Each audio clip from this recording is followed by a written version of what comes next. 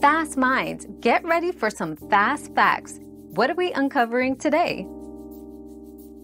Neutral tones, such as beige or cream, and earthy shades like terracotta and rust, blend seamlessly with sage green walls. For a pop of color, consider blush pink or navy blue wall art to create a stunning contrast while maintaining a harmonious look. Your daily dose of discovery ends here, but the journey of learning never stops. Subscribe and join us again for more answers tomorrow.